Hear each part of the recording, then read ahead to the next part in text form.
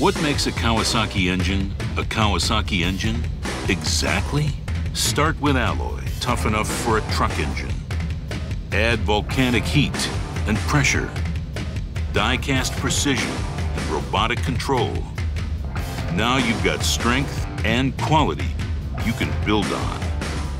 So you build on, not just an engine, a Kawasaki engine with iron bore liners cast in for life.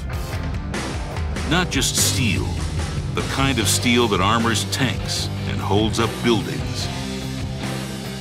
Induction tempered and quench hardened.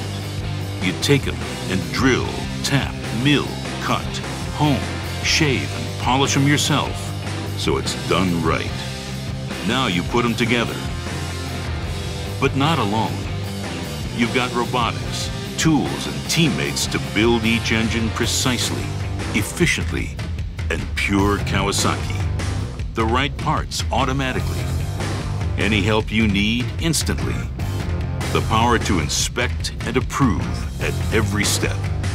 You assemble, adjust, connect, confirm, and test, test, test. Every engine powered up and proven. It's not just mass production.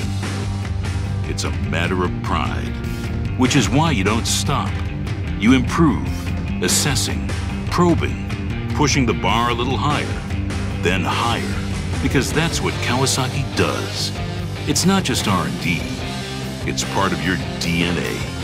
So, what makes a Kawasaki engine Kawasaki engine exactly?